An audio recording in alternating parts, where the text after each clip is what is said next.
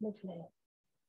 So welcome, um, my name's Claire, Claire Seek, and I am part of um, Repair Cafe Portsmouth on the south coast in the UK, and also part of a group um, of the Community Repair Network, which um, which we'll touch on slightly later. Um, and we want to take this opportunity as part of Ethical Consumer Week to talk to you about repair and um, within that topic of closing the climate gap, we really think repair has a part to play in that. So we are the last session of the week. There's been lots of different things um, talked about and we hope we give you some food for thought this evening. We're going to be joined by um, a range of people that you will see on the screen at the minute and um, the way it's going to work is we're going to have a couple of people talking about things. Um, I'm going to interview a couple of people and then we're going to have lots of time at the end for questions. So if there's a question that pops up while we're doing presentations, please feel free to pop that in the chat so you don't forget it and equally jot it down. And it's really helpful in the chat, which you'll find at the bottom of your screen, if you can um, put a cue at the start of a question, if that's different, you know, to just sort of adding a comment in or um, making something, it just will help us to sort of sift through the comments, uh, the questions at the end um, to maybe bunch some of those together. Um, everyone is muted at this point just to uh, reduce disruption. You know what it's like on Zoom with cats and children and all manner of things that can happen. But obviously, if we get to the point of questions and you want to add something in, please uh, do chip in. And um, I think that's all the housekeeping really. So we will get started. And um, I'd like to introduce you to Ugo from the Restart Project, who's going to start us off um, talking about the sort of bigger picture so Ugo, I'll hand over to you. Great. Uh, thank you and thanks for everyone who's joining us. I'm gonna attempt to share my screen. Hopefully it will work.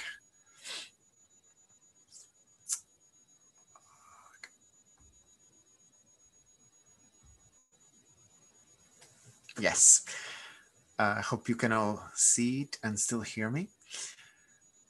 So when it comes to repairing, we all have at some point a similar experience of something really, really frustrating us, something that we would like it to last longer, but that we can't do much about. And the desire sometimes to actually become, yeah, getting rid of it is always there. But um, as an organization, the Restart Project has two ways to try to change that. And one is like others in this call today, uh, we've been running now for nine years community repair events that we call Restart Parties as they're mostly focused on electrical and electronics, but are in the same vein of the repair cafes and we try to make them fun, interactive, especially pre-pandemic. Right now, it's a little bit different, and a learning opportunity for everyone, whether you're volunteering or joining as a participant. But we also work to change the system, to bring about the right to repair that will help us uh, just not fix what we can in community events, but fix everything else a lot more conveniently than we can do at the moment. This is a picture from a protest uh, that happened in Brussels earlier this year. We are one of the co-founding members of the European Right to Repair campaign. In this case, asking for regulations to make printers uh, last longer and avoid manufacturers getting away with completely non-ambitious um, voluntary agreements uh, to make products just a little bit more sustainable, but not enough from our perspective. And the reason we do all of this is indeed that there is nothing like extending the life of a product that you already have if you are to make a real impact on the environment. This was the theme of this year's International Repair Day um, a day and a weekend uh, last week uh, when groups from around the world celebrated the day online, in person, those that could. Uh, I know some people in this call had events. We celebrated with an exhibition in London on the on repair uh, as, as essential around the world. And the reasons we focused on the environmental side of things. It's not just because, of course, it's COP26 in a couple of weeks, but there's a lot more. And one key message from us is that the greenhouse gas emissions for all the products that we use are mainly happening at production stage. Uh, this is an example of a phone from a few years ago, but the proportions remain the same. The vast majority, up to 80% of the all the greenhouse emissions in a product will have occurred before you've ever switched that product on. So the only thing we can do is extend the consumer phase of that product. So the amount of years and not just months that a product gets used. That's the only way. And so repair and reuse are the most important ways to fix our relationship with the products uh, that we use every day. But of course, there's also the problem of e-waste. Uh, this stat is a little bit more well known. The fact that the UK specifically is the second per capita producer of electronic waste in the whole world. But differently from Norway, from as you see from this uh, stat, uh, we manufacture and we produce a lot more in uh, actual numbers of this waste. So it's really something that needs tackling and extending the lifetime of products will reduce uh, the push to produce more and more e-waste. So our right to repair is under threat. What, what does it mean? It means that uh, more often than not, even people at com community repair events uh, experience that we don't have sufficient access to affordable spare parts. So when you need to replace a part, often it's too expensive or hard to find. Repair manuals and diagnostic tools are not available to everyone and often we find alternative ones, but it's not the same and we need to spend time and we don't access all the official information the manufacturers should be making available. And not not uniquely important, but crucial, uh, design for repair is not there. Products are not designed to be repaired. It might take too much time or we might risk of breaking a product further in the attempt to reach to the part that needs fixing. Many of you will have heard uh, around July, a big celebration that uh, now in the UK, we have the right to repair our products. And uh, unfortunately, I, I, I, hate to have to break the news that this is not the case yet. And that's why we think that a lot more needs to happen to make the right to repair a reality in the UK as well as in, in Europe.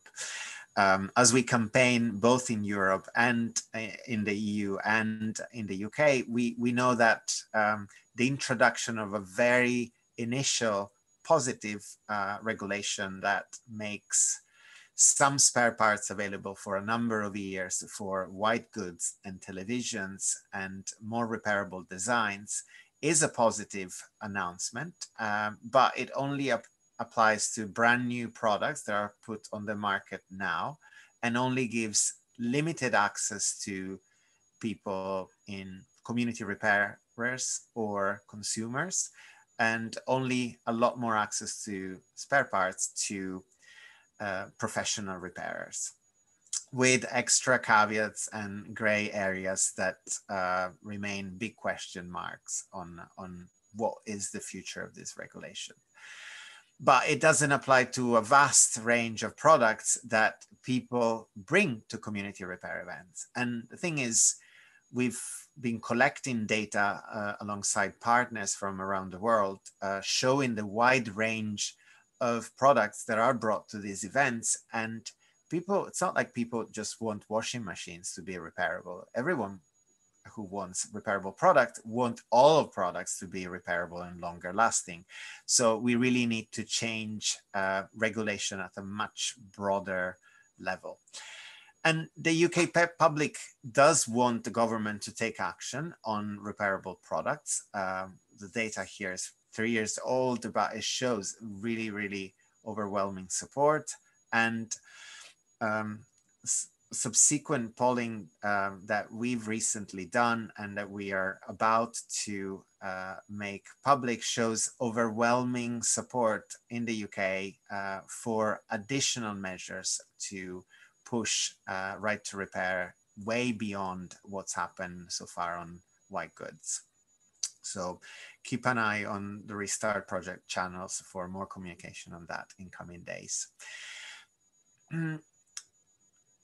but at UK level, in terms of government, we're still behind when it comes to uh, adopting a similar approach to what the EU is currently discussing. The EU is working already on regulation to make smartphones and tablets and computers more repairable.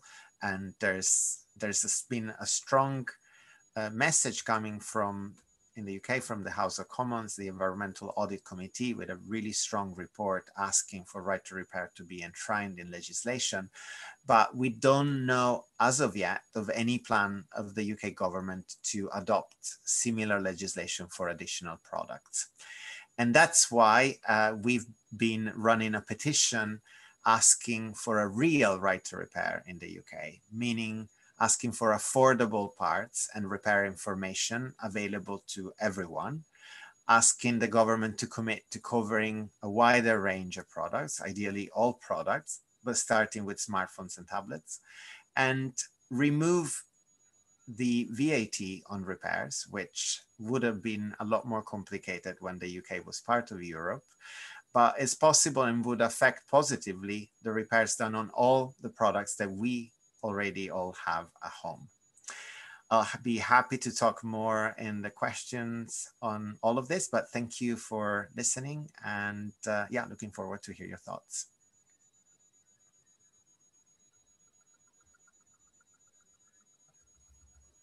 Brilliant, thank you, Ugo. I think lots, lots to think about for people. Um, and if you've got, as I say, if you've got any questions, feel free to pop them in the chat and we'll come back to them in a little while.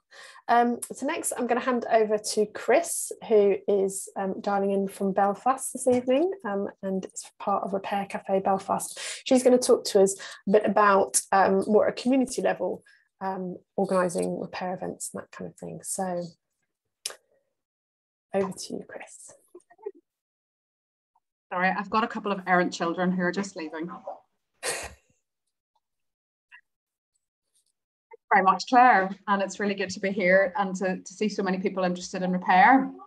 And I'm here to just talk a little bit about um, what's happening in communities up and down the country um, and give you the example of what we're doing in Belfast to repair together and to bring people together to repair. And um, given that start, the funny thing is that my first line that I wrote in my notes here is I've got three young children and so something is always getting broken on a, a, daily basis or at least a weekly basis. The knees are coming out of small boys' trousers, kitchen gadgets, push chairs, bikes. And it used to feel kind of overwhelming, really. How have I got time to deal with all of this? And why do these things not last? And what am I going to do now? Um, and you can kind of understand why people um, think the easiest thing is just to replace the item and there's not time to repair um, or it, it feels like a, a, bit of a hassle. But then I came across the idea of a repair cafe. And the idea is a pop-up community event where people can get help to fix their broken things. And I had so much broken stuff at home that I thought we need to get one of these in Belfast. So I'm just gonna share my screen here if this works. Uh, so this is us at our first event just coming up to four years ago. We had never met. Um, none of us had ever set foot in a community repair event before because there'd never been one in Northern Ireland. It was snowing and it was two weeks before Christmas, hence the tinsel. I was seven months pregnant and we really had no idea what we were doing or how it would go. But it was an absolutely brilliant morning and we were completely hooked. Uh, people brought a camping table, light up shoes, a talking Elmo. We had a tandem bicycle. We had lamps. We had headphones, kettles, toasters, radios, all kinds of things that people use every day, which break and which they wanted to get fixed. Repair Cafe is Repair Cafe Belfast is one of around 200 community repair groups and projects around the UK one of the strengths is that they're rooted in their own communities. So they reflect that community and they have a different flavour, they have a they have different connections. In Belfast, we have no fixed abode. We move around to different venues around the city. Um, and that's got a lot of benefits for us. It means that we reach lots more people, lots more neighbourhoods. Um, it means we get to work with a lot of different partners and hosts. We like to pay attention to the atmosphere we create. So the pop-up cafe is just as much a part of it as the repairs. Um, it makes people feel welcome. Um, it creates a social space to connect. We use big tables, as you can see there in the, in the picture, so people can meet somebody new. Maybe we have a few repair books to browse or some recycled crafts for kids. And it makes the whole thing a fun experience. It's not just another thing on the to-do list that has to get done in terms of getting something fixed. It becomes some a, a joyful morning. It's very important to us that the Repair Cafe is pay as you feel it means there's no economic barrier to getting something repaired, which is one of people's biggest concerns when something breaks is how much is this going to cost? Would it be better for me to just go and buy a new one? Is that more affordable? But it also creates this sense of community rather than operating as a service. People are very generous and the donations um, cover our running costs. So we didn't need to get any outside funding until we started taking on other projects and doing other bits of work. At the heart of the repair cafe, oh, there's the buns, yeah, sorry, I forgot about that. At the heart of the repair cafe are our volunteers. And something I was really anxious about when I was starting was finding people with the right fixing skills because I am not a terrific fixer. I've learned a lot from hanging around these people. Um, but it's not it's not my area of expertise. But it turns out they were there all along but they were in garden sheds and they were at kitchen tables fixing things, maybe fixing things for friends and family or just tinkering themselves. They weren't widely appreciated or seen in our community. And I think that's the case in many communities. But actually, by creating a repair project, we created a space for them to come out um, in the open and um, and contribute their skills to the community. And they absolutely get as much out of it as everyone else um, who participates people like Ricky here. Ricky trained as an apprentice electrical engineer in the Belfast shipyards, the same shipyards that built the Titanic. Um, and he comes along with his, his friend John, who joined um, as a mechanical apprentice um, in the shipyards. And now they're both retired and they come and they uh, volunteer together and just really enjoy the crack. And this is Francesca. Um, she's a software engineer originally from Italy before making her home in Belfast. Um, and she said, uh, I believe in the power of giving and receiving, and it is a great joy for me to offer my technical skills as a service for other people. I think the Repair Cafe is a great initiative to bring people together and try to be an alternative voice in our consumerist society. And there are other volunteers who are just as important. It's not just having people who can fix things. There's a lot of organizing that goes on. There's a lot of making people feel welcome and lots of lots of people involved in that. there are lots of different things that we can fix at a repair cafe and each group will will tackle a, a slightly different uh, set of things people have different expertise but we always ask people to to write up on a, a poster what they what they got fixed at our events and people bring all sorts of things um, for all sorts of motivations and we find people are often heart sore about the way that we're living and about our throwaway society. And there, there's a visual visible relief when they come in to the repair cafe and they realize there are other options. There's someone to help. They don't have to do it on their own. It's something practical that that you can do, that they can do, that we can do today together. It's not abstract. Um, and so it does offer a practical, tangible benefit for people, but it runs deeper than that. Um, and I was thinking back as I was um, preparing for tonight, I was thinking back to our first event and a toaster that was brought along. Um, something many of us have that breaks. Um, but this toaster was brought along. The owner, I think I have a picture of it here. Yeah, the owner had taken it apart and tried to fix it the year before, and they'd not been able to fix it, and they had not been able to get it back together. And uh, it had sat um, because it was a good toaster and they didn't want to get rid of it. It sat for ages. And then suddenly this repair cafe happened and they were like, brilliant, I know exactly what I'm going to take. So he brought along this toaster and we fixed him up, uh, connected him with a, with a repairer who worked on it that morning. They'd never met each other. They spent about an hour together tackling this toaster. And um, they thought they'd got it working. And the, the repairer said, um, if only we had a piece of bread and we could try this out.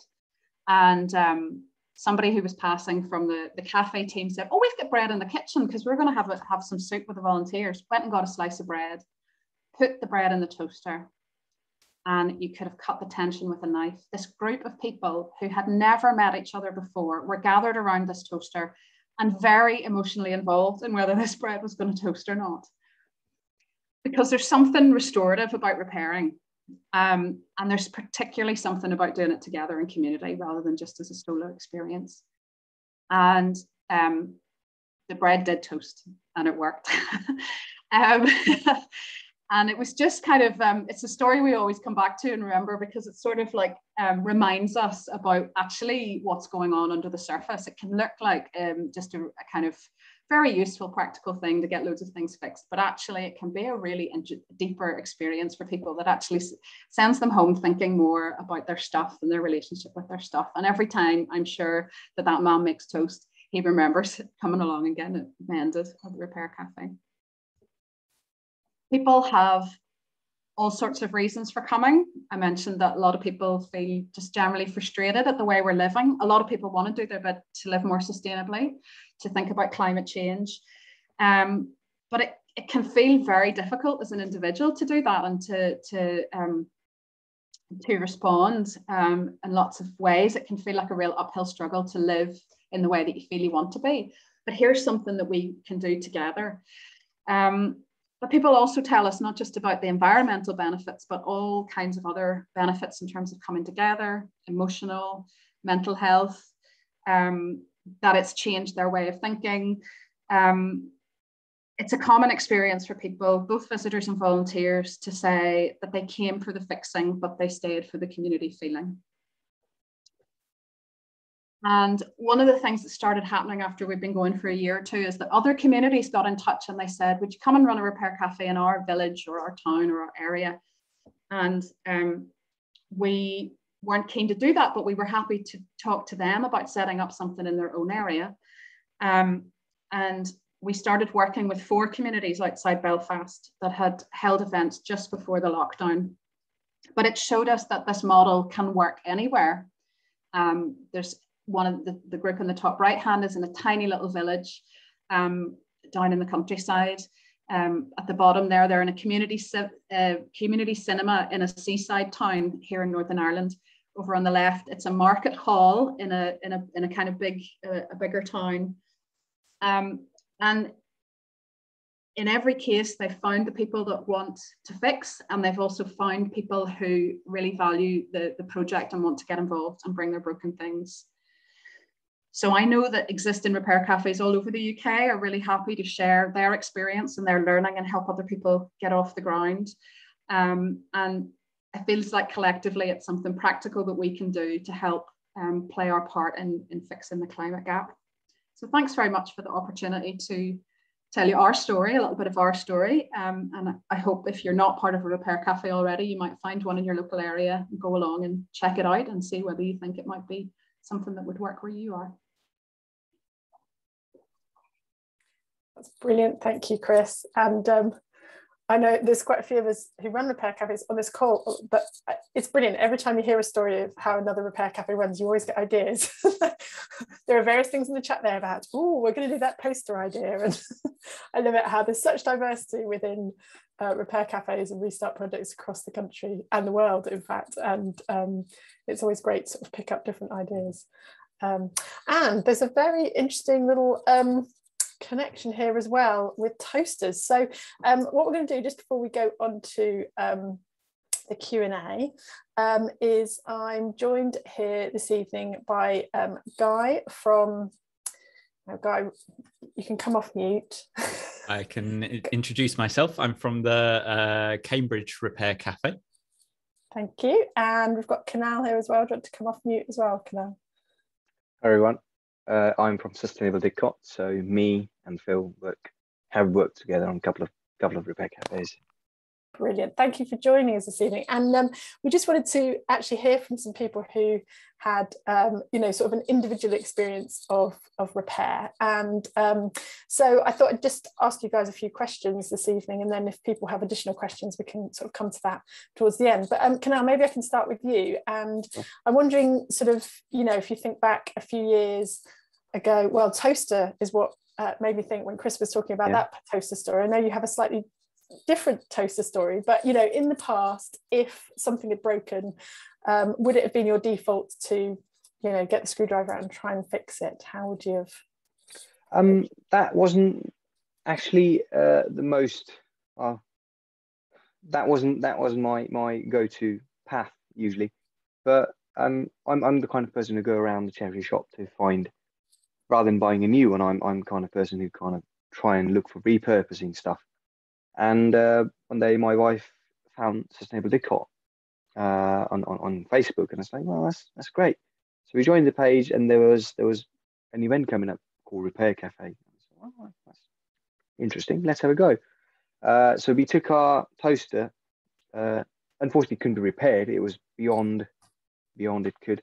But then we saw that that the environment and and and what the purpose was for that that particular you know, gathering that these people are just offering free service to bring things back to life. And, you know, uh, I, th- I thought that was brilliant, you know, brilliant idea for uh, brilliant application of sustainability. Uh, and, and then we, um, we carried on going to these cafes and recently, just after lockdown, uh, there was an email from Phil, I think, that mentioned that we have a couple of sessions for training yourself to, to be able to repair yourself and, and even contribute if, if you'd like. Uh, so these were like basic, absolutely basic uh, electrical. I'm not from electrical background. I'm from a software background, but I don't. I'm the kind of person who would not open a lot of things if I weren't sure that how to put it back. So I went to these couple of training sessions and um, managed to fix things faster than I was hoping myself to do at those training events. So Phil said, uh, "Yeah, why don't you come and uh, help us out on repair cafes that we hold here?" I saying, well, "Yeah, I'll definitely give it a try."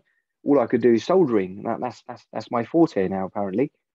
Um, but then uh, I think a couple of months ago, there was a repair cafe event. I went there knowing only soldering, whereas there were veterans who had designed, you know, circuit boards for spaceships and stuff like that. So I felt a bit more comfortable that, you know, if I can't solve this, there is somebody, there is somebody who certainly can. Uh, so I felt very comfortable that way. But then my very first thing I, I, repaired or helped solder was uh, a radio control toy car. And, and it came in, it was just sat there and, and nobody kind of, well, it was sitting in the queue and, and that's probably the only thing I could do. So I, I had a go at it and, and managed to repair it. And the result was a, a kid, you know, wanted to see it working and was, was absolutely you know, over the moon about it. So um, that that's that that's first fruit of that labor, I would say, for me personally being associated with the Repair Cafe, going to these training sessions. And second, uh, as a side effect, I would say a byproduct was a bit more confidence in myself that okay, I can I can tackle this. I can open things up. Worst come, I, I can go to another repair cafe and then hopefully somebody senior would have a look at it if I can't put it back or make it work. So that's the kind of confidence it, it, it kind of gave me. And then a month after we had a, another repair cafe, and I went in again. And this time I graduated from a toy car to a, a PlayStation remote control. That was another uh, success story. So I think I'm gradually, I feel like I'm gradually growing confidence that hopefully at some point I'll, I'll repair one of the sp- spaceships if I can. Brilliant. But, and well, and a great start from a broken toaster to now being, I think, affectionately known as the soldering ninja of, of Didcot's Repair Cafe as well. So yes. brilliant how you've come on. Um, Guy, can I ask you? So um, I think uh, I heard a rumor that you, um, as a teenager, used to you know, jump into skips to find things. I try not to jump all the way in. Uh, but it's true that I can't walk past the skip and not crane my neck.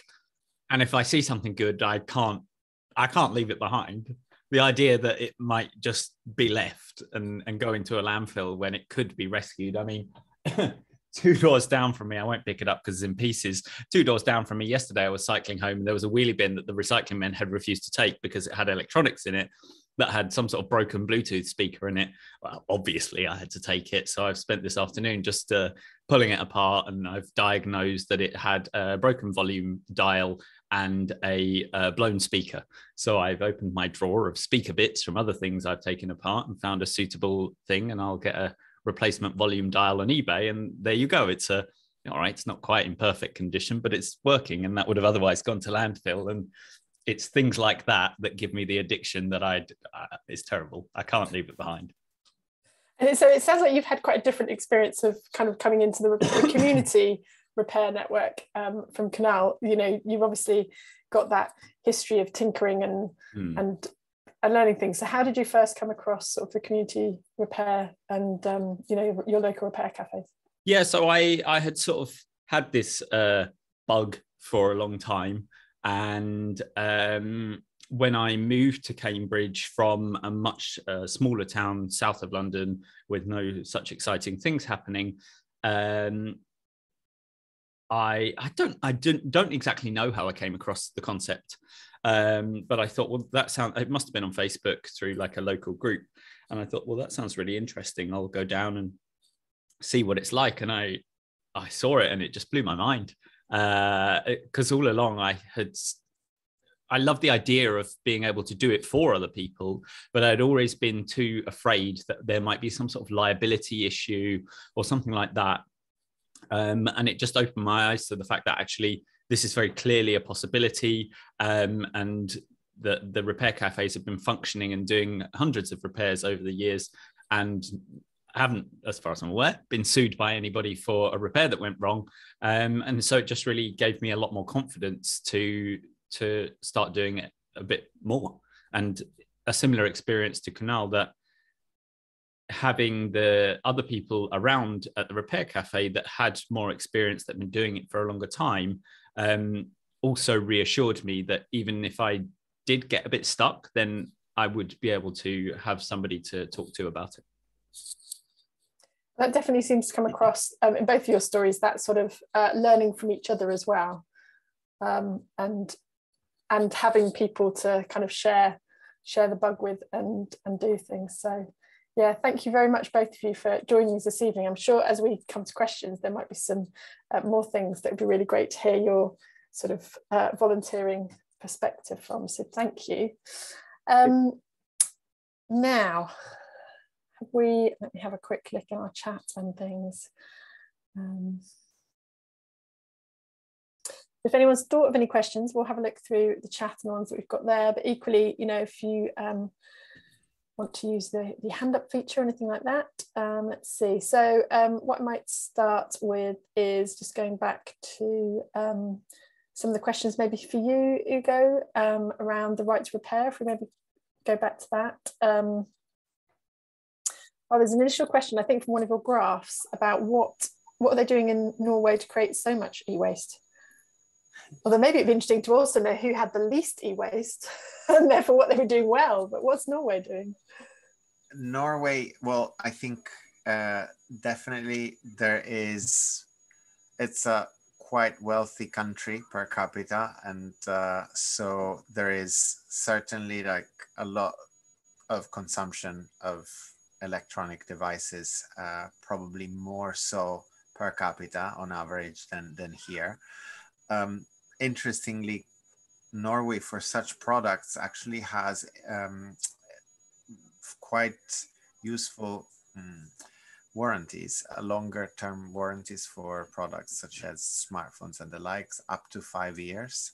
But that doesn't seem by itself to reduce the amount of e-waste that they generate.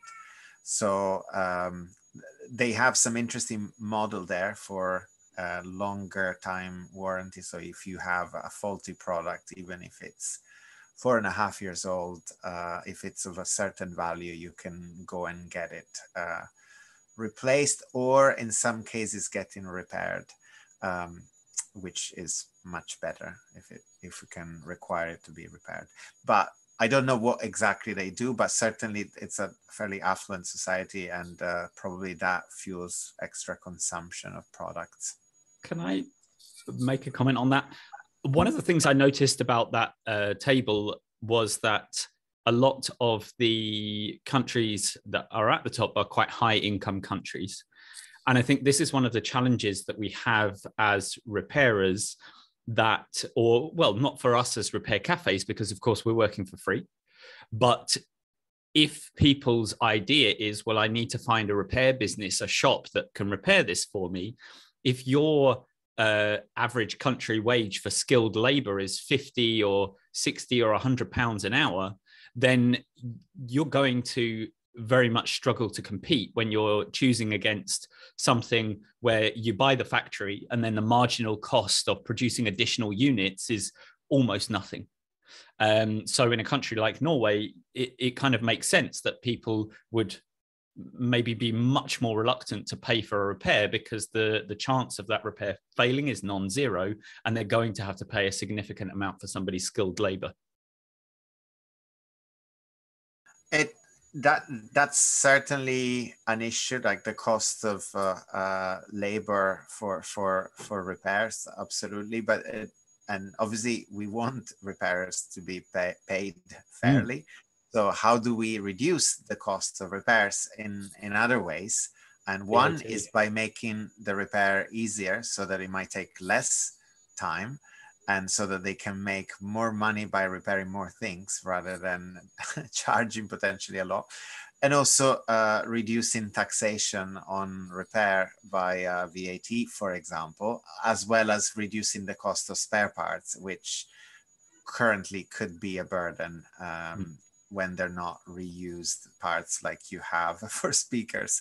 So, uh, of course, there is a multiple uh, set of ways, but you're absolutely right. I lived for a few years in in Kenya where I took a lot of the inspiration for for some of the work we're doing today and uh, over there I, I, still remember one time having a, a, headphone set bought in the UK that uh, just to have a look at it when faulty the manufacturer wanted 45 pounds and uh, I got it repaired in 15 minutes at the repair shop in Kenya for three pounds so while also being learning the skills that I would have to repair it myself the following time. So yes, of course there is an issue there, uh, mm. but also some products have become just simply too cheap because the yes. environmental impact of this product is not factored in in the price of brand new products and uh, yeah so we need to really change the system basically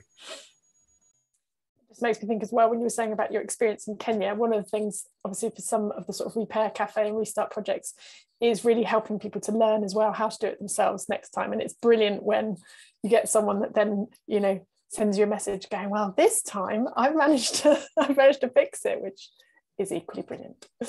Um, so another question before we move on maybe to um, some of the actual more sort of uh, community repair questions, um, Ugo again was for you was just um, around how is the Restart project able to make an impact in Brussels from obviously now being outside of the UK?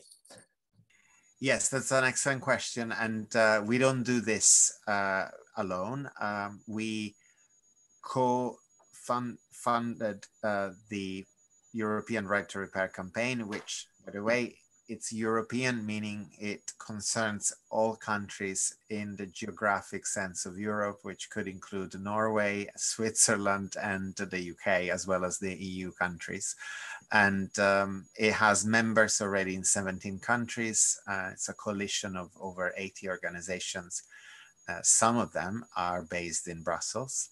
And Restart uh, employs a campaigner who is based in um, Brussels and helps coordinate messaging and bringing together a mix of the policy demands that some of our more policy minded members uh, come up with with campaigning and messaging to help raise awareness. So we're certainly not doing that alone and i agree that it would not be best for an organization based in the UK to tell the EU what needs to be done, but in collaboration, definitely. Great, thank you. Go. Um, Chris, maybe you could take some of the um, repair cafe, sort of more community repair cafe questions. So um, one of them we've got is, you know, how do the groups work practically? So, um, you know, are we registered charities, businesses, bank accounts, insurance, all those kind of things? Um, well, as I mentioned, there are, there are 200 groups and they operate in different ways, um, there's no one size fits all. And actually, most of the groups have come up from the grassroots um, and organised independently. And the community repair network that Claire mentioned at the beginning of the talk is, is an effort to actually um, bring us closer together and encourage dialogue so that we can kind of share those experiences. So for us in Belfast, we're a community interest company, um, but we operated as an unincorporated community group before we, we um, registered and founded that. Others operate as charities. Some are organised into um, groups of repair cafes, which have a, offer an umbrella structure. Um, some repair cafes are projects of other community groups that do a number of different initiatives and running a repair cafe is just one of them. So there are lots of different models and I think it kind of really reflects the local circumstances and how the group came into being, what structure they have. Um, does that answer everything, Claire? Was there something else in that question? Um, yeah, I think as well, I suppose other than um, the question that always gets asked most is about things like health and safety policies and insurance. That would probably be something in that as well. Yes, and it has been a challenge, I think, for many groups too. Um, to kind of make it clear what they do to insurers in order for insurers to have a, a clear understanding about what the, the risks are. Um, and but the, uh, some groups operate without insurance um, and have kind of organized themselves to do that. Um, I know certainly here in Ireland, there were a lot of groups that found it hard to get insurance. And so uh, did bike and textile repairs and stayed away from electronics. That was how they managed that risk. Um, so I mean, certainly it is possible now. There are a number of insurers that do understand the concept because the groups have been more um, more uh, common. I think and um, there's been more dialogue with different insurers. Um, so there's a number of different products available that provide um, public liability insurance, um, liability that would cover your volunteers um, from accident. But I think it, it's actually, while it's easy to um, think about risk in terms of um, all the things that could go terribly wrong, I think it's actually not a high risk activity, um, especially if you um, have your have a, a, good kind of health and safety policy that that kind of um, keeps you keeps you right and and, and ensures that um, like Guy and Kunal touched on it there, you know that people who are who are offering to volunteer are operating within their their skill um, and comfort zone um, and that they're not um, taking on repairs that they don't know how to do. And so there's a lot about um, kind of building up a really responsible ethos and, and kind of a sense that health and safety is a shared responsibility. Um, and our experience is that there have been no accidents and no issues, um, and that actually people feel, our volunteers feel terribly um, responsible to those they're helping, that they want to make sure they're in a better situation when they leave. Um, and certainly we've had cases where people have brought items for repair and actually been told and advised that um, that item can't be made safe and they should not, they should cut the plug off and dispose of it. And actually they are safer because they came to a repair cafe and got that advice than if they had um, carried on using it. So I think it, it, of course it is a concern. It's something that experienced repair cafes are more than happy to discuss with people who are, are getting involved in this and who have a lot of questions about it. Of course, it's an issue people are concerned about, but I think it's about keeping it in proportion and um, and being wise, um, but not letting the fear of the worst case scenario stop you doing something which is very practical and beneficial. I think that's really good. And also, it's interesting um, as someone who helps other people set up repair cafes. Um, it's quite interesting depending on uh, where people are coming from. So, I'll often be approached by someone who's maybe part of a parish council, and obviously, their thinking around risk and all those kind of things can be quite different from you know someone who's linked with a men's shed and wants to expand that and just loves fixing and so you know it's all about finding that sort of sensible ground and and meeting the people where they're model of the repair cafe is neighbors helping neighbors. Mm. and if you think about that and you organize your events to reflect that and that's why you know i spoke there about how important the community side of things is for us because that's it's it is important because it feels really really good but it also has a lot of benefits in terms of managing risk because people are very concerned to help their neighbours and not do anything that might harm them. But equally, those neighbours are then very grateful for the help and the support that they have received. So if you if you think of it with that mindset, it kind of makes it feel more manageable and, and helps you to navigate those issues. That's great. And actually that maybe uh, moves on to one of the questions which um, someone's asking saying, do people pay for spare parts? Do people sometimes need to come back for a couple of caf uh, you know, cafe sessions to get something mended? I'm just thinking while we're talking about sort of paying for things as well, maybe comes into that. Certainly. Well, I think most repair cafes would operate on a pay-as-you-feel basis, as we would. Some would be um, a little clearer about, you know, these are the parts.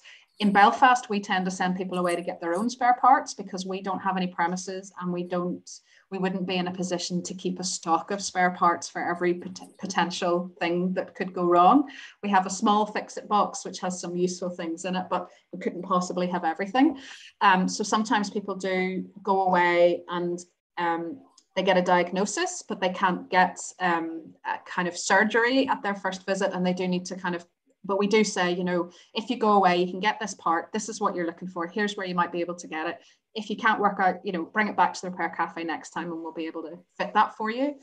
Um, so yeah, I mean, people, I, again, people tend to be very generous and they're very keen to support the project. And when they're in, in a position to, um, people don't want, um, don't don't want the project to be out of pocket for having got got parts for them or or materials um, to carry out the repair so yeah it, the, the, the, kind of again the kind of analogy that's really helpful is that thinking thinking about a community repair group is like a first aid clinic for your stuff.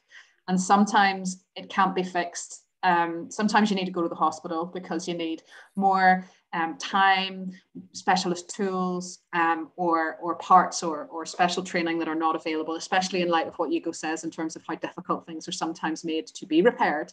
Um, so we wouldn't hope to um, fit uh, fix everything that comes but at least if we can provide people with some advice with um, a diagnosis that's still really useful um, starting point and they know what to do next. Or even to say this item isn't going to be repairable at least people can let go of it and they feel like um, you know they can move on. I'm just thinking as well i'm guessing like Kunal, for example when you're doing soldering you come with your soldering kit i'm guessing and some solder and you don't you know there's a basic amount of stuff you have with you? Uh, no i don't actually. I borrow uh, I, there are lots of senior people who come with that kit.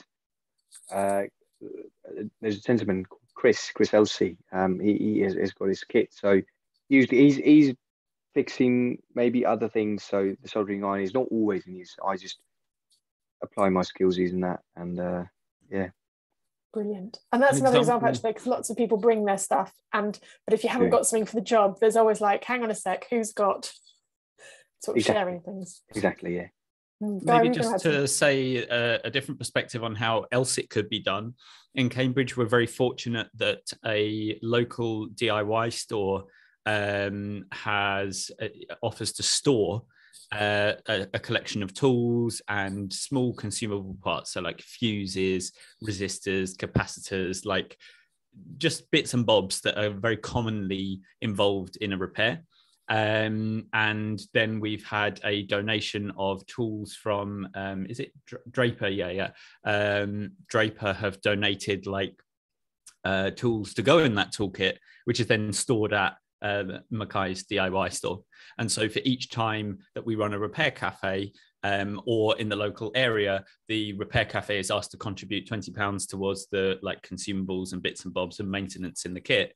And it means that pretty much anything is going to be in that toolkit. I have lots of my own tools, which I obviously love and prefer to use my own. But if I am, as I very often am, cycling to the repair cafe, then I can quite happily choose to just shove in an adjustable screwdriver um, and a multi tool. And I know that everything else will be there. And likewise, anybody can turn up who's got any level of tool ownership.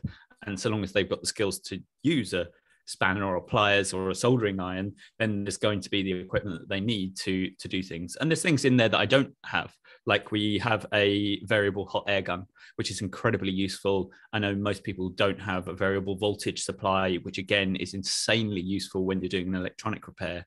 Um, so that's uh, if it's an option for people, I'd encourage it because it works really, really well for us. Brilliant. There is there is such diversity, and remember as well that it's not always just electricals and computers and things that we're fixing. So sometimes it's a needle and thread, and um, definitely fit them in your bag on your bike or whatever it might be. But yeah, there's a great breadth of stuff that's repaired. Um, One of the ladies who does textiles, uh, I, am pretty sure Gina comes to every repair cafe that we do. Um, she comes with a bike trailer and brings a sewing machine, and uh, yeah, so there's no reason a bike needs to be a barrier to bring lots of equipment you should see my bike trailer. She's not mm. kid. It's, it's good exercise. I'm really glad Portsmouth is flat. Let's put it that way. uh, um, just um, let's take a slightly different question we've got for Ugo here. Um, the Restart project offers a 10 week course for school children. Um, does anyone know if any organisations are interested in doing something similar for adults?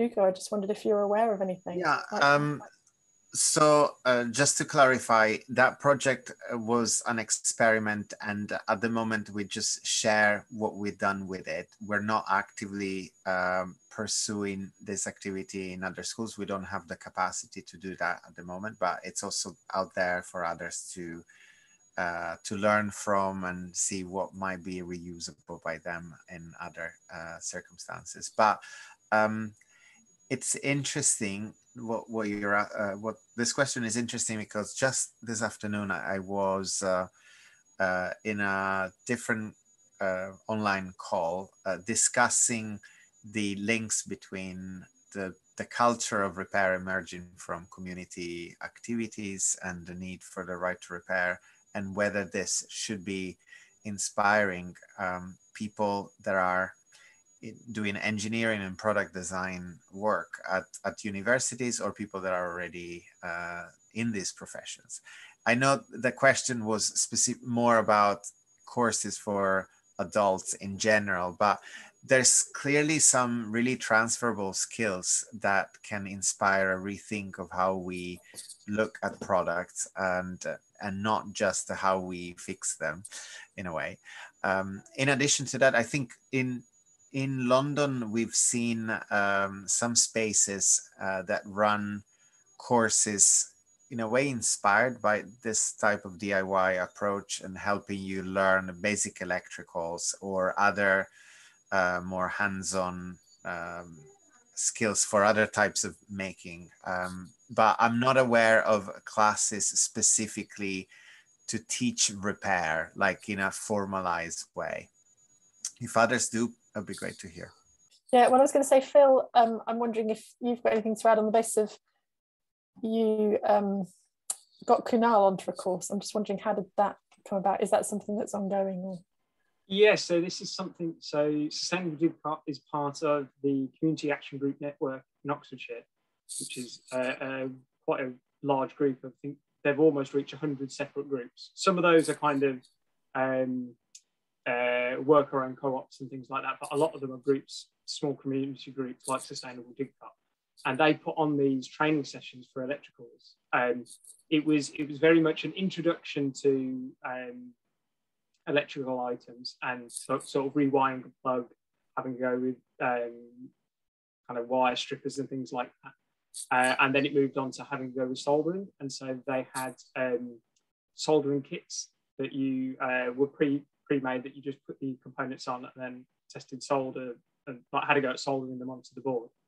Um, so that's where they're at, at the moment. They weren't uh, that we haven't got any courses to say kind of now here's how to actually diagnose and treat a, this is more this is at the moment that they're getting through experience. So like Kunal, he comes and joins an experienced uh, repairer, and then they get kind of experience that way.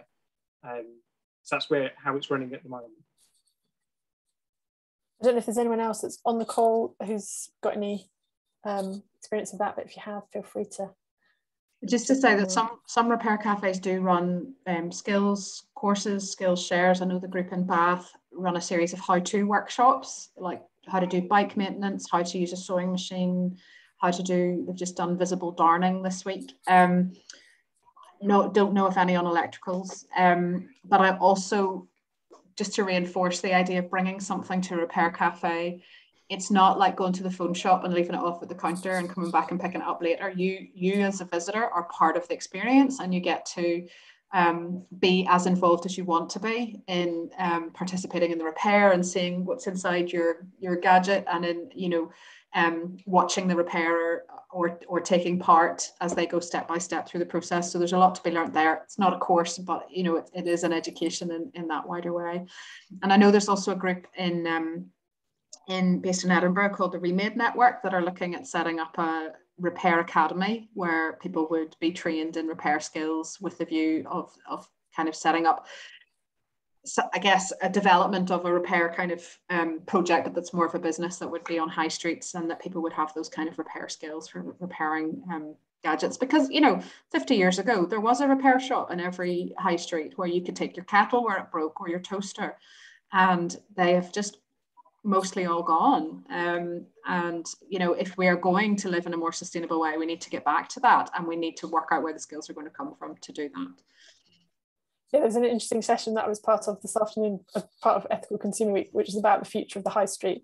And on that, they had people um, such as, you know, Library of Things and different groups saying, you know, it'd be great to get much more about repair and uh, borrowing and sharing on our high streets, although and also a very interesting dilemma of the challenge of who owns all those buildings and how hard it is to sort of get into the high street. But really interesting discussion. Um, Nicole from Cambridge Repair Cafe, did you have something to add in? Yeah, hello everyone. Um, yeah, so we run a couple of introduction to electrical repairs, um, so quite targeted towards women actually, because we wanted to get women along to sort of feel more confident to try things at home. So we um, got, I think, eight broken lamps and we got people to try and fix them. And so everyone, you worked in pairs and you kind of worked through the whole diagnostic and the process of trying to work out what's going on. And and there was obviously a, an experienced supervisor. So and, and that's the evening was a couple of hours with a broken lamp and trying to bring it back to life and introducing you, yeah, to stripping back and soldering and the diagnostic stuff. Yeah, it worked quite well. Brilliant. I like that idea. Yeah. Mm-hmm. And Ugo was just mentioning as well, he'd forgotten to say, um, yeah, you guys do Skillshare sessions, but amongst the volunteers, sort of spreading the skills yeah in a sense trying to help maybe newcomers gain extra skills and uh, reduce some of their own yeah increase their confidence level. And also it's nice because during the repair events it's normally quite hectic. You're just trying to help people as as many people as possible. And so there isn't as much time for a more relaxed uh, just learn from a fellow volunteer experience. But we've not really done these um, during the pandemic uh, as online sessions to, yeah, avoid uh, people being too stressed by all these online sessions. But we hopefully be able to resume them uh, soon in person, as they're kind of social opportunities for people to just get together and have some snacks and have a chat while learning something new. Brilliant. And that fits perfectly into the next question that I was going to suggest we uh, tackle, which is the question of how soon did various repair cafes representative return to business after the various lockdowns? Um, so, um, who'd like to go? Chris, do you want to let us know how it worked in Belfast? By local situation, I know some repair cafes started up again last autumn in between the lockdowns and operated um, and others haven't come back yet. And many, I think, are in the process of exploring it and, and making changes to the way that they operate. So I know for ourselves, and I know for, for Clare and Portsmouth, we have started using a booking system, which we didn't use before, so that we know um, how many people to expect and we don't have too many people coming to our events and, and have crowding that way. So there are different ways of working. I know the Repair Cafe in Glasgow has operated outdoors um, for the last several months. Um, I don't know what they're going to do in the Scottish winter now. Um, but I think I think it's a very creative community, and people are keen to get back and keen to um, find creative ways to do that and, and durable ways that are going to last whatever the ups and downs of the coming months may be. Um, but I think also for ourselves, we were very careful not to move ahead of where um, our volunteers were comfortable. Um, we had a lot of people who had been shielding and we didn't want to leave people behind. We didn't want people to feel under pressure to come back. So we have gone very slowly and gradually.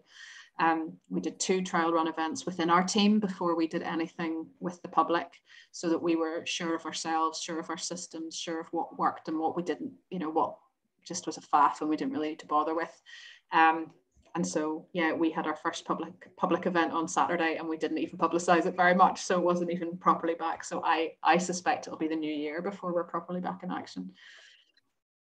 Yeah just saying portsmouth we've been back since july but with sort of quite a lot of measures in place. So you know um, open doors open windows masks um, booking system and um, but it continued you know word is getting out that we're back and it's great. And we are keeping those measures in place so that because we want to be able to sort of ride whatever storm and certainly you know covid is increasing down here at the minute. So um, but we're hopeful that keeping that in place you know we can keep everyone safe but keep keep fixing. Some groups did continue to operate through lockdown with with drop off services as well. I know the repair cafe in malvern hills fixed something was it 400 items or something? Um, throughout lockdown and they had a they had a pick up and drop off service instead of having repair events. Now obviously you miss out on the whole um, experience of being together and doing it together and being able to share knowledge um, and it's a lot less fun but it allowed them to help people who maybe were reliant on certain household appliances um, and who were shielding and who didn't want to leave their homes they were able to help them. So that was really valuable and a lot of groups also moved online and, and, and tried different ways of, of connecting and encouraging repair. Us in Belfast, we did a, a fortnightly mending pile meetup um, throughout the winter where people brought their mending pile that never got attended to and there was a little opportunity to kind of socially get together and, and all stitch and get some advice about how to tackle different um, textile repairs. So yeah, and I think one of the benefits that Malvern were talking about was actually for some of their repairers, it was a real lifeline for them during the lockdowns as well of something to actually do. So the sort of mental health, not just for those people that are getting stuff fixed, but actually for some of the repairers that, you know, it was something to do. Plus, apparently their repair rate increased greatly because obviously they had a huge amount of time to sit tinkering and, and doing things. So um, I think their repair uh, yeah, the repair productivity went through the roof. So um, yeah. Um, and on that, maybe talk about time. Um, we've got a question here about some of the repairs, like pieces of furniture, broken things that need gluing. Um, they're saying some of that is a skilled job, just even trying to find the right glue. But um, I guess, you know, how do repair cafes face those things? I jump in again. I think experience is the key there. Um, certainly we have seven or eight different kinds of glue in our fix-it box, um, but it's our experienced uh, repairers who have repaired things in the past and therefore know what um, what will work, what will be the best kind, and have a good steady hand. And there was a lovely story on Saturday there at a repair cafe. Someone who brought a piece of furniture, um, sort of like a a very like an antique footstool, and the the um, the legs had worn, the, where the legs twisted into the footstool had worn away and so they could no longer be attached. And a couple of the fixers got together and they were brainstorming different potential ways to repair it. And in the end, they didn't have the right tool for the job, but they made a little video clip with um, describing how to go about the repair so that the person was able, they knew the person who had brought it knew somebody who would be able to actually fix it locally, but to kind of describe how the repair could happen step by step and what they would do if only they had had the right tools with them. So that was a real team effort. Um, but Guy, you wanted to jump in there with? Yeah, Guy, what were you going to say? Um, yeah, the no, I forgot what I was going to say on that. we were talking about glues or different types of glues. Yeah, I mean, it was. I, I think it was basically to mirror Chris's point to say that experience really helps. Um, and when you've got this toolkit that's got all different kinds of glue in there, um, you can have a go with a little patch on an out of the way point and and see if the first one that it takes you, my first resort is usually super glue because they're super strong and it sets really quickly. But if you find that that's not sticking, then you can move on to to something else. Um, but yeah, I think experience makes all the difference here. I have to have got very knowledgeable about glue as well in the last four years. I never knew there was such a variety of epoxy resins and Sugru and all these kind of things.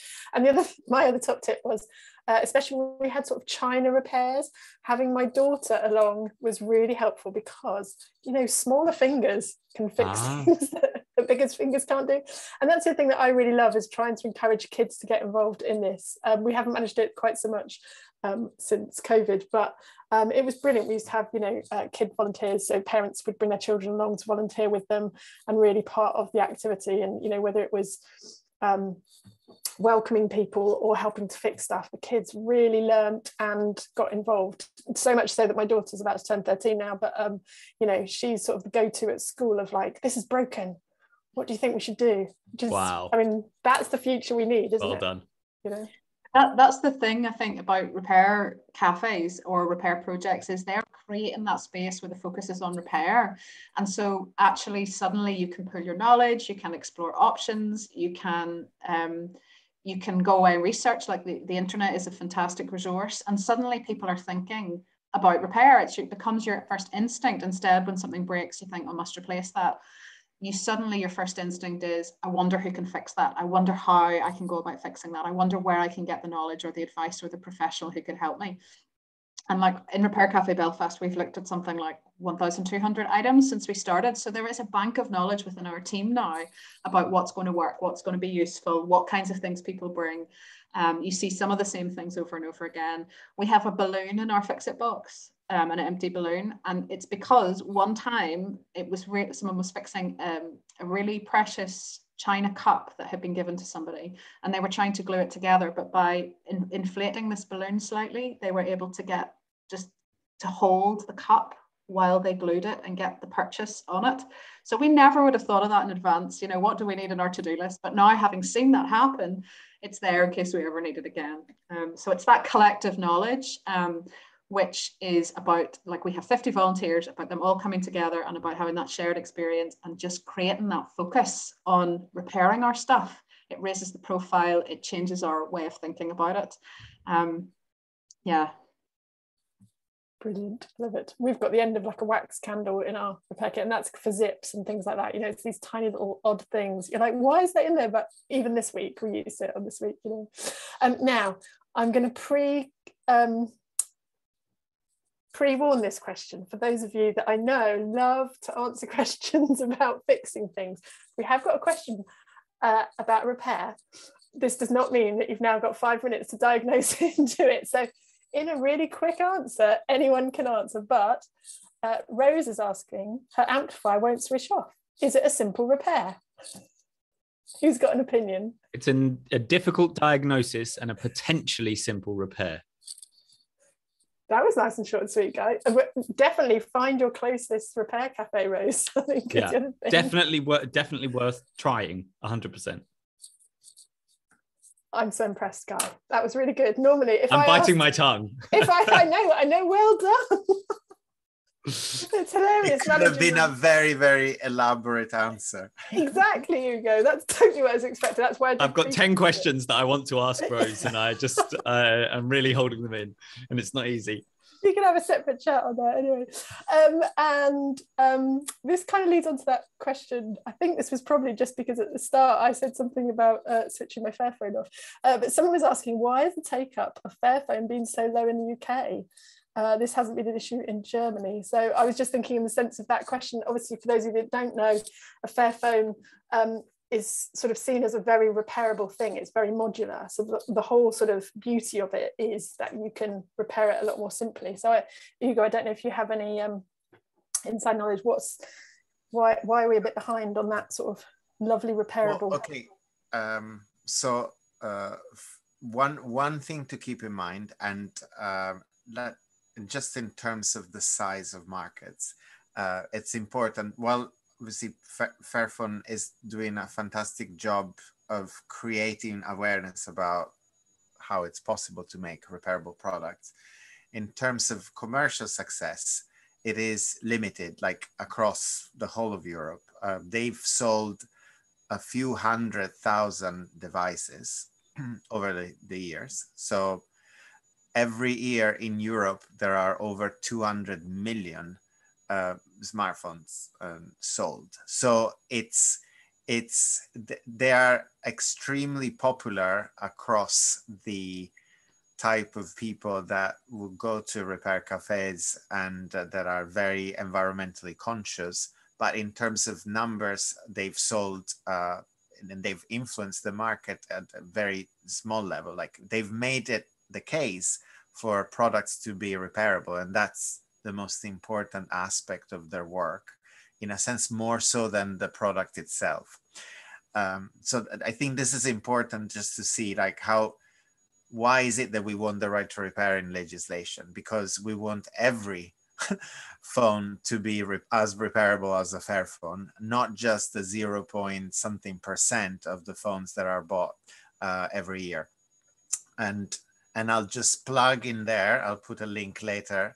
Uh, the European wide campaign that we have ongoing with Right to Repair at the moment, which is that for a phone that would last 10 years. Uh, and you'll find uh, a letter and a funny fake product launch uh, link to this, which is, um, well, I'll share the link on the, on the chat.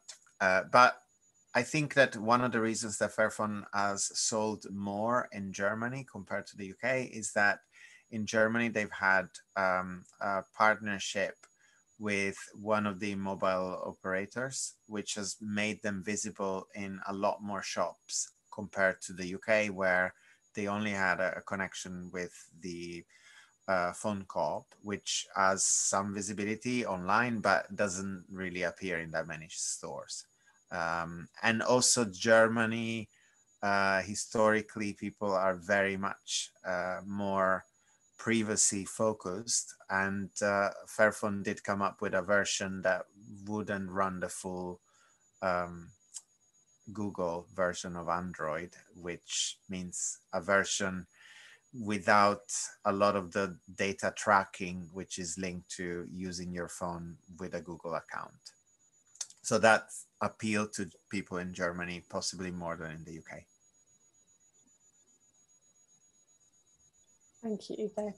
Now, um, I'm conscious of time. I think we've pretty much got through all the questions that are on there. Um, and I know someone's just asked for a, a list of the toolkit. There's a couple of things in, uh, a couple of suggestions from people and some links uh, about that.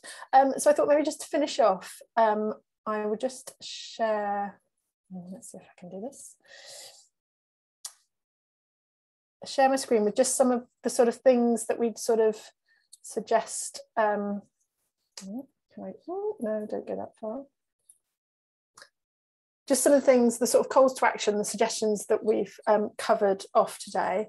Um, and they're sort of different activities based, I suppose, dependent on where where you are tonight and how you've you've joined us. So the first thing is, you know, if you're an individual, one of the things that we'd really like you to do, which Ugo mentioned, is um, help us call on government and policymakers with this right to repair. Now, all these things that we've talked about are sort of actions and things that you can get involved with. We will send out an email um, next week with a link to um, this recording as well so that you can uh, share it with people, listen to elements of it again. And also it will include these sort of uh, links as well. So don't worry about having to jot them down now. But um, there's certainly, you know, this is the, the petition and I'll also include that link that Ugo's just mentioned about the um, 10 year phone. Uh, the other thing is if you're an individual, you know, support your local repair cafe. So if you need something fixed, um, there are a couple of places you can look. There's the Repair Cafe Foundation website, and there's also the Restart projects. And between them, they cover a lot of the repair cafes and restart projects that already exist in the UK. So you can find somewhere and check obviously if they're open at the minute and what their current um, way of working is. So get along and take your broken things along to them. Um, if you are already involved in a repair cafe, one thing that we'd really love everyone to consider if you don't already is um, collecting data because all the data that we collect really helps in the arguments and the discussions that people like Ugo are involved with with policymakers. So the data that actually says, you know, what things we fix, what things we haven't fixed, and without the things that we we don't fix, you know, is it uh, because we're lacking in spare parts? Is it that you just can't even get into the blasted thing? Um, and then that really helps when talking with companies as well who say, oh, you know, these things never go wrong, and actually we can look at that. And there are two different places that you could potentially put that data within Repair Monitor, that's part of the Repair Cafe Foundation, or within the Fixometer that Restart um, Restart project does. And just to say, both those places lead to the same place, so you don't have to enter in both. Um, so pick one if you um, collect data. Um, what else I can say? If oh, let me find my notes. Um, before I move into this one as well, if you are part of a repair group, the other thing is that you could um, sign the Manchester Declaration, which is a, a, declaration really asking our policymakers and government to change things. And it's really great if you can get your MPs to also sign up to that. And that just again kind of increases the, the weight that we've got behind this campaign. Um, if you're also part of a repair group and you'd like to connect and sort of go that bit further, we've mentioned tonight that we're part of the Community Repair Network, and that is a, really new thing. Um, we've just sort of come together and this is the new website that uh, launched, I think it was only last week or so, the community repair network.org.uk. And you can look on that and we will, we're planning to have an event in the next month or so where people um, can come and hear a bit about what we've been doing so far and um, see if they'd like to get involved. And it's really if you want to get involved in sort of doing more. So it's not about just um, setting up repair cafes and community repair um, places. It's about how, as a together as a voice, we can make more of a difference. But it, what I'd say is, if you'd like to be um, find out more about that, if you want to just drop me an email, that I'll make sure that when we have that planned, I will let you know.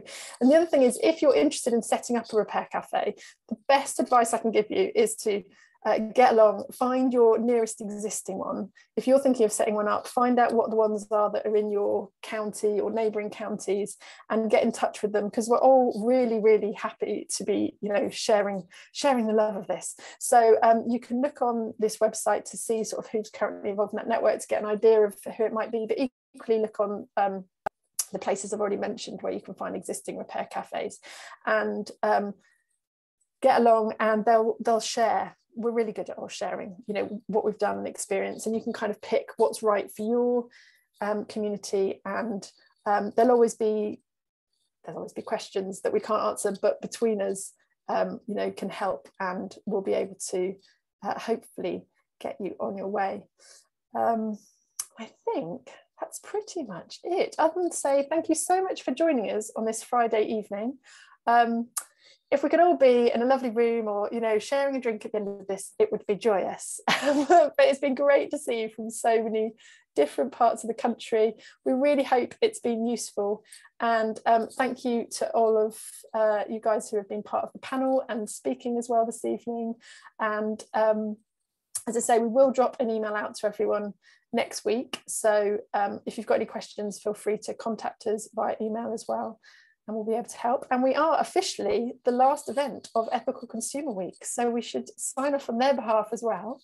Uh, feel free to unmute, say bye, but otherwise um, that's us for this evening. Thank you very much.